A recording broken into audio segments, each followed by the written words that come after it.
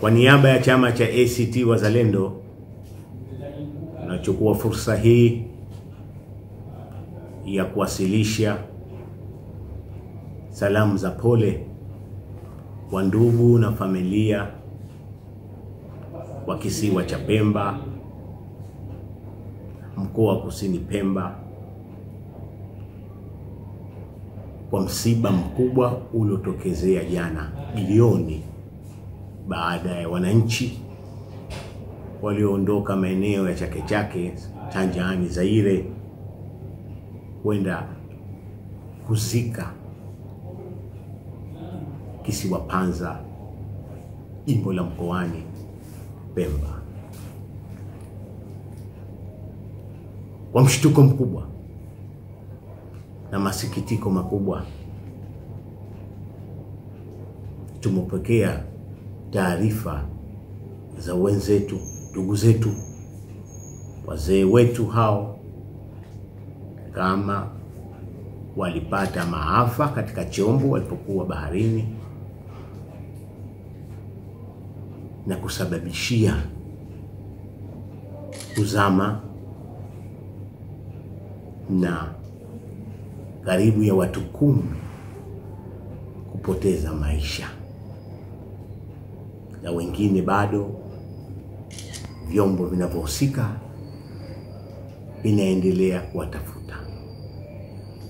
Ni msiba mkubwa sana kwa nchi, ni msiba, ni mzito, ni msiba ambao umehuzunisha kila mtu katika nchi yetu. Nachukua fursa hii tena, fursa hii tena kutoa mkono wa pole kwa ndugu na familia wote waliopoteza wapendwa wao. Tunatoa mkono wa pole kwa wananchi wote wa Zanzibar, kisiwa cha Pemba na Unguja, kwa Zanzibar nzima. Lakini pole vile vile tunatoa mkono wa pole kwa Rais wa Zanzibar na mwenyekiti wa Baraza la Mapinduzi Dr. Hussein Ali Hassan Mwinyi, makamu wa kwanza wa rais wa Zanzibar Mheshimiwa Othman Masud Othman, na makamu wa pili wa rais wa Zanzibar Mheshimiwa Hemed Suleiman Abdullah,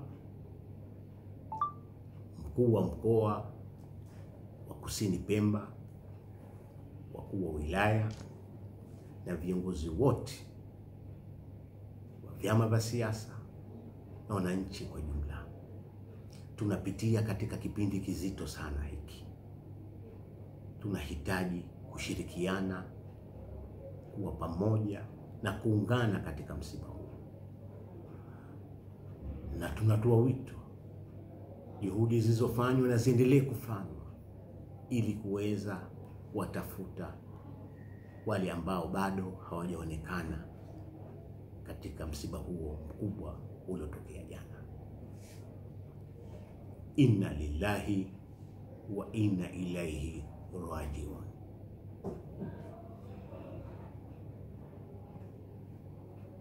Tunatoa wito kwa serikali kuhakikisha tunakuwa na vyombo imara vya uokozi, kuhakikisha kama tunakuwa tayari wakati wowote panapotokea tatizo, basi tuna vyombo na tuna vifaa vya kutosha vya kuweza kufanya uokozi dhidi ya wananchi wetu.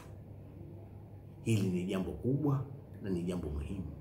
Mara nyingi zinapotokezea ajali za baharini, basi huwa tunapoteza watu wengi kuliko wale ambao tunapata fursa ya kuweza kuokoa.